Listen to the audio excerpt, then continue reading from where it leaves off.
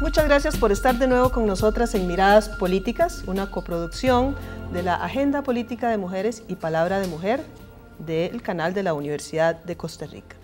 Este es un programa en vivo, puede llamarnos al 25 11 15 15 y hacer sus preguntas muy breves, por favor, porque tenemos un espacio muy corto, sobre el tema de hoy.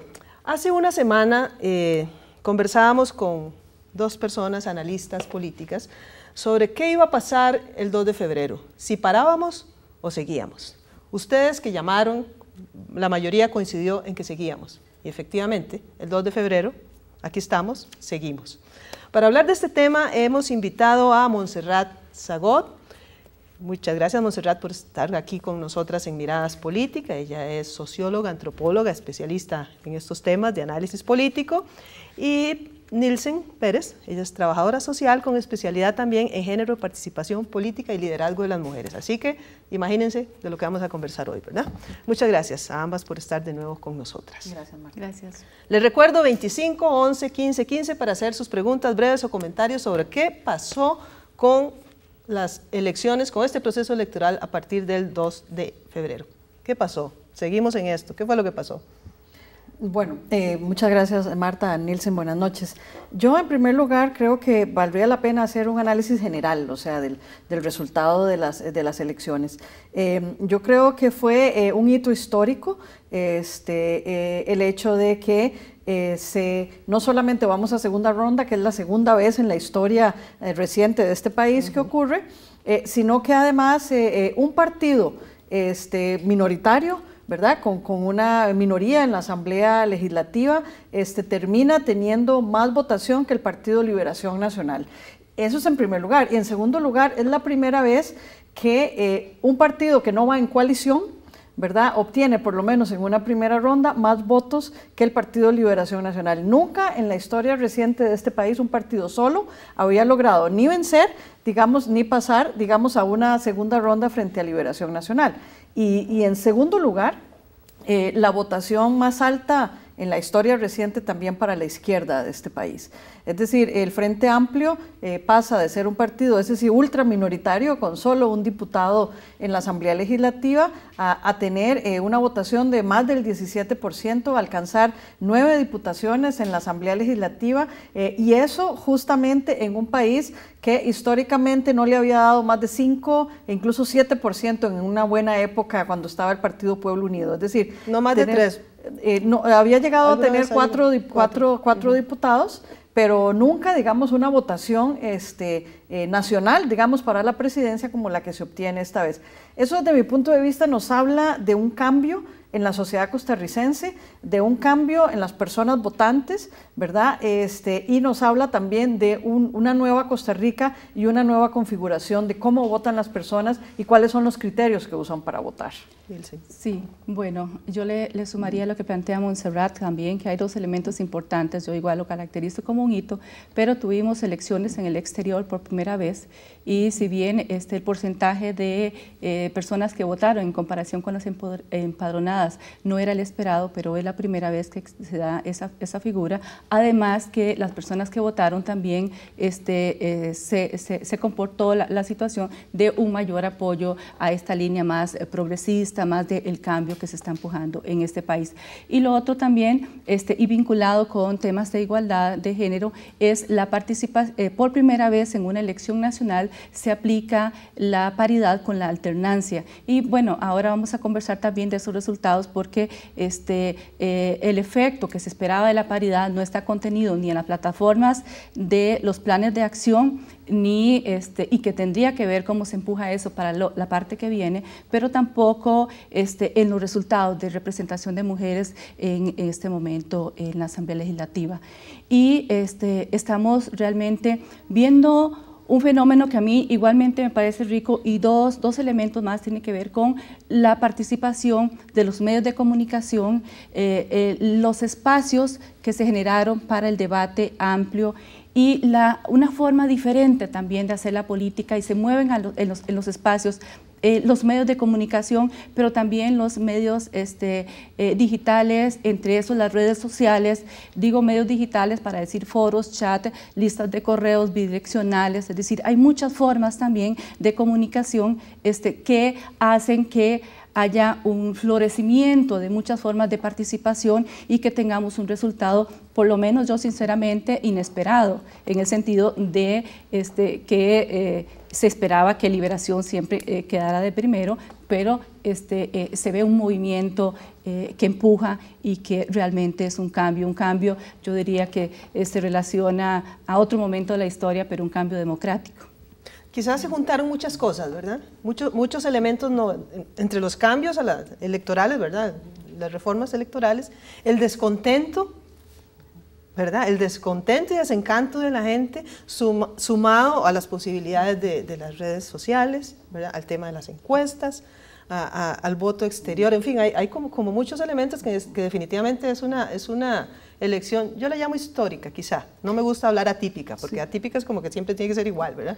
No, no, yo, creo que sí hubo muchísimos cambios, o sea, es, es, una, yo creo que es una elección, o sea, que marca digamos, un antes y un después en la política electoral costarricense. Y hacía muchísimo tiempo, digamos, que no se veía un, cambio este, tan importante. Eh, se suma, como, como vos decías, Marta, en efecto, el amplísimo descontento con, con, el, con el gobierno de liberación nacional.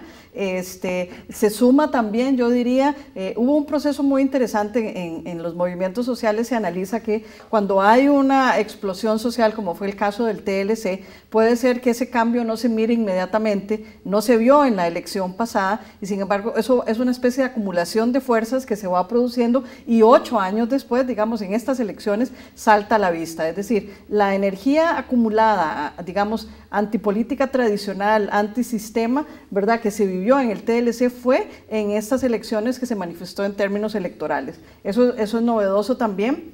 Es novedoso también, como lo decía Nielsen, y quiero eh, este, también mencionarlo, la utilización de las redes sociales.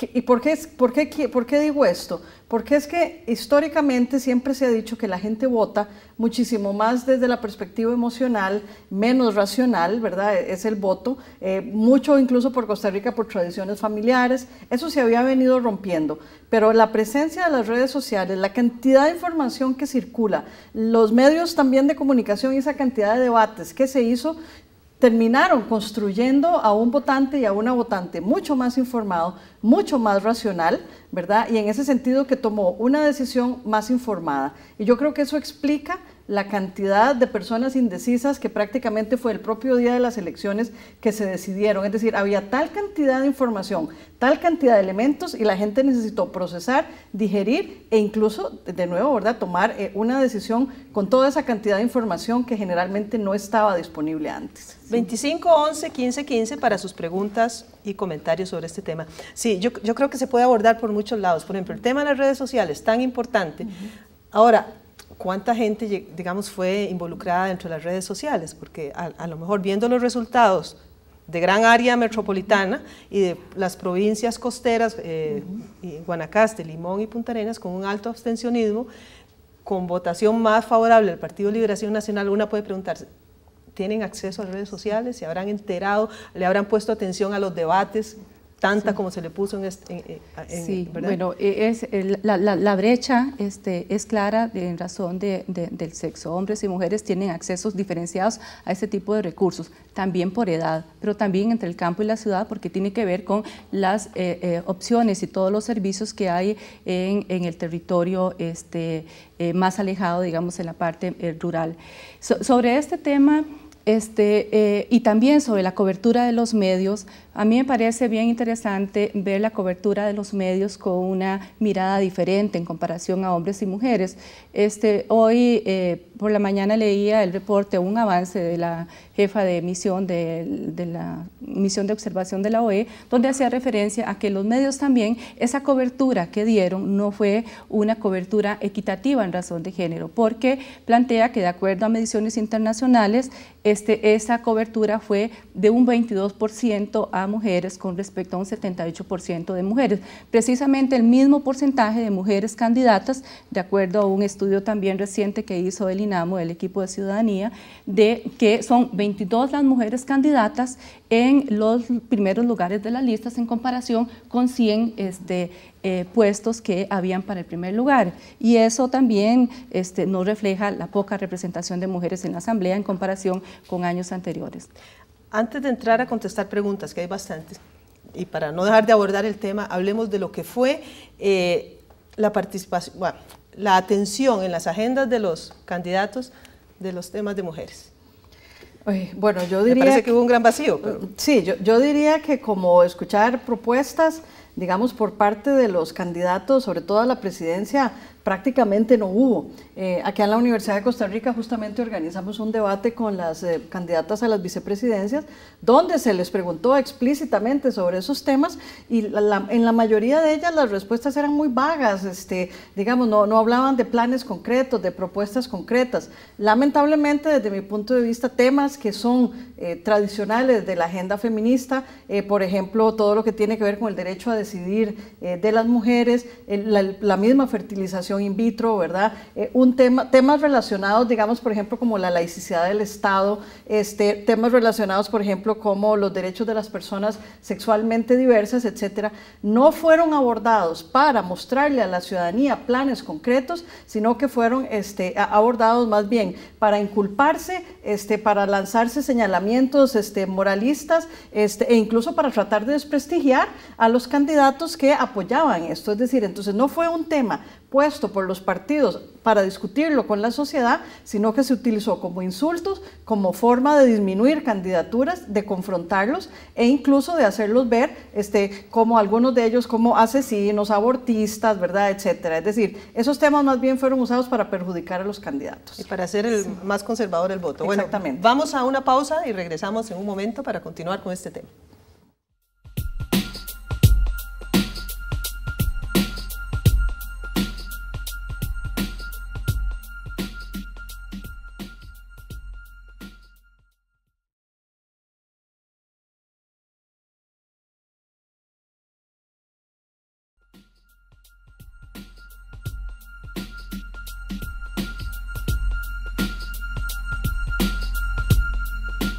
Volvemos, seguimos conversando sobre los resultados de las elecciones del 2 de febrero. Sí, conversamos sobre, el vacío de las agendas de mujeres. Sí, precisamente este que sobre las plataformas eh, de igualdad este, entre hombres y mujeres, sobre derechos de las mujeres, este, es muy limitado lo que ves en los planes de, de gobierno que se estaban planteando, pero además como posicionamiento público. Eh, se sigue asumiendo que los derechos de las mujeres y la igualdad entre hombres y mujeres es un tema de mujeres y no un tema de hombres y mujeres, un tema que tiene que ver con el desarrollo y no se aprovecha todo el potencial que el concepto profundo de paridad nos está arrojando. Introducir la paridad a un código electoral es sencillo en comparación con introducir el concepto de qué hay de fondo, que es que la sociedad estamos constituidas por mitad de mujeres, mitad de hombres, somos la mitad de la humanidad y como mitad tenemos un aporte sustantivo. Entonces, si no se visibilizan a las mujeres como mitad, como un aporte sustantivo para el desarrollo que somos, y si no se visualizan los temas políticos con responsabilidad, que lo que ha pasado es yo digo, ha sido un manoseo de algunos temas, especialmente derechos sexuales y reproductivos, donde no han habido debates serios.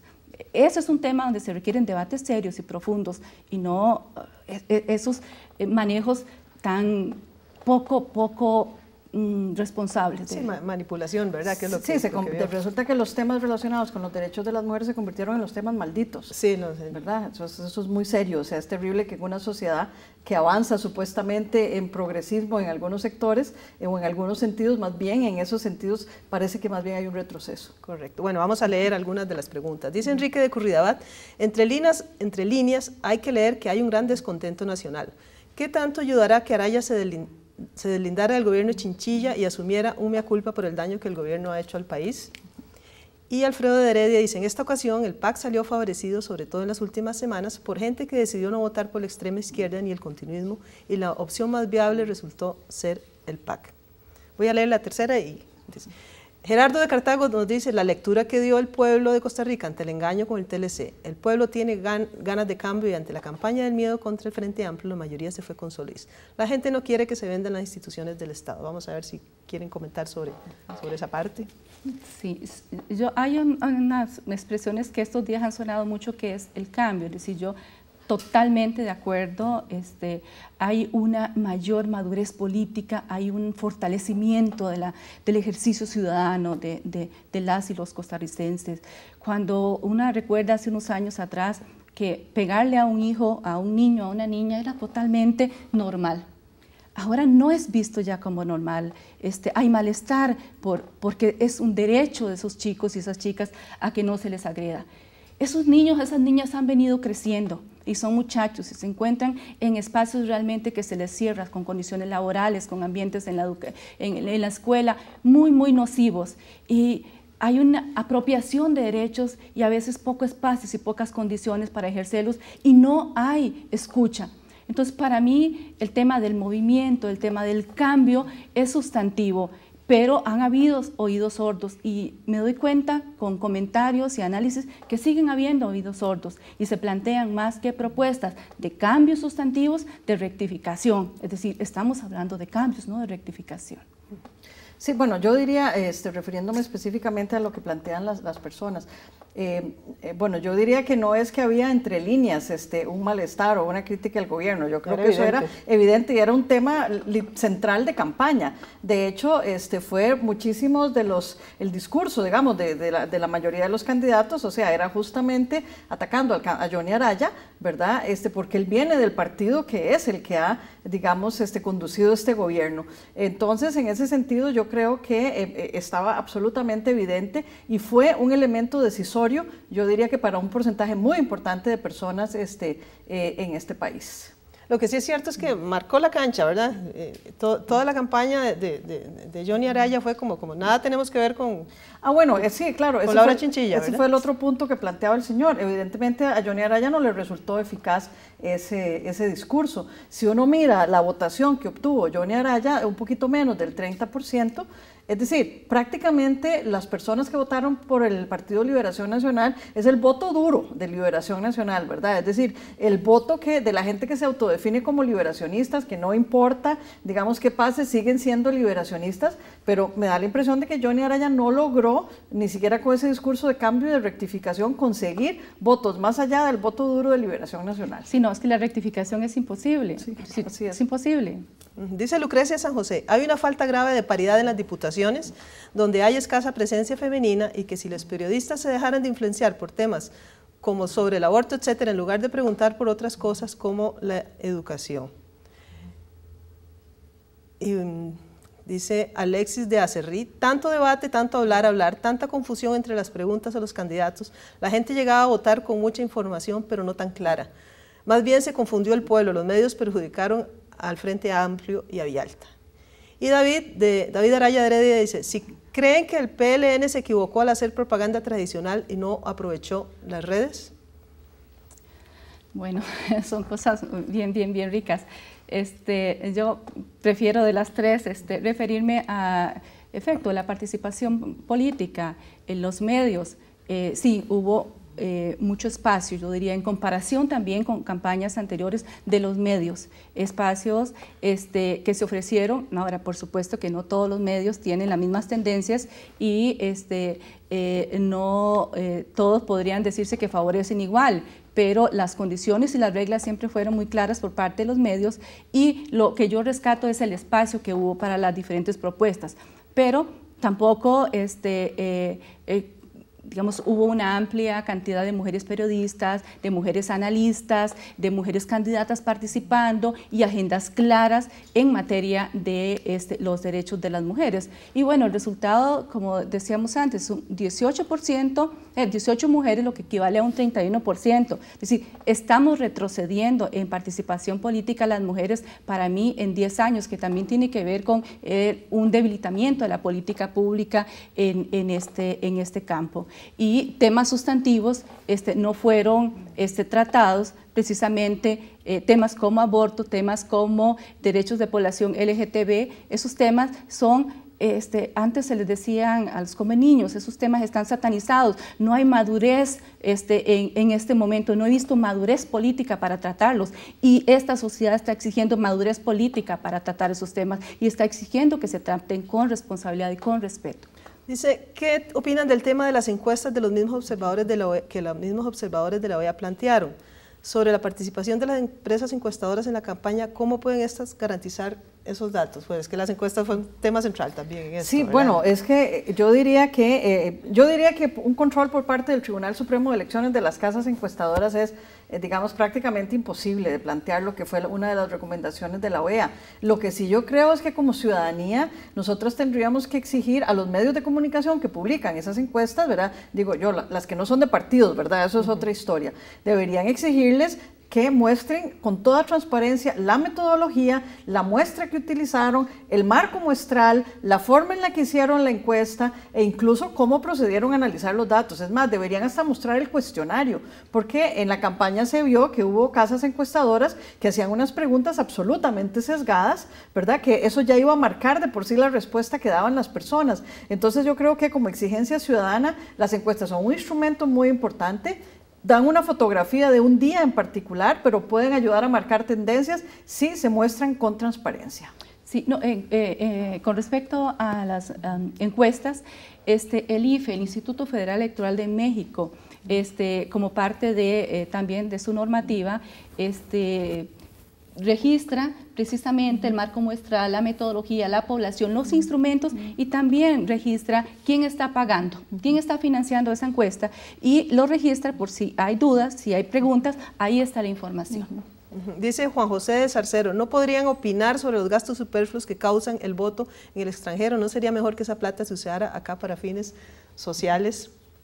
Bueno, bueno, a ver, yo diría, este, hay mucha plata que debería usarse para otros fines, por supuesto. Sin embargo, a mí me parece que es un avance que las personas que por montones de razones no pueden vivir en este país y quieren participar y siguen siendo ciudadanos y ciudadanas de este país, tengan al menos la opción de ejercer el sufragio en el extranjero, ¿verdad? Eso se puede hacer este, de formas este, eh, más baratas, o sea, este, más modestas, ¿verdad? Es decir, eso lo podemos discutir, pero yo sí creo que la ciudadanía, no importa dónde viva eh, tiene derecho a ejercer el sufragio. Además, ahí me parece interesante cómo se mostró la misma tendencia de los tres primeros lugares, ¿verdad?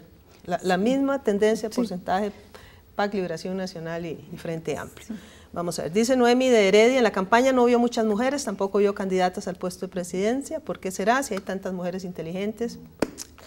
Bueno, por, por ley, digamos, cada, todos los partidos tenían que llevar a una mujer ya fuera en la primera o en la segunda vicepresidencia. Lo que pasa es que en efecto fueron completamente invisibilizadas este, en la campaña, que es diferente, pero ahí están eh, y, ahí estaban los puestos y ahí estaban las, las, candidatas. Sí, pero el hecho de que no hubiese ninguna mujer este, candidata a la presidencia también invisibilizó, porque los hombres también han aprendido cómo visibilizarse y el sistema nuestro permite la doble postulación a la presidencia y a la diputación. Entonces, para ser diputados se visibilizaban muy bien, mientras que este, las mujeres no están utilizando ese tipo de recursos. Bueno, vamos ya casi contra el tiempo. Dice Deyanira, no solamente no le dieron importancia al tema de género, sino que tampoco tomar en cuenta lo que piensan las mujeres sobre esos temas, por ejemplo, sobre el aborto. Solo los hombres opinaron, las mujeres no opinamos. Tampoco, dice, le tomaron el parecer a las mujeres lesbianas en el tema LGTB.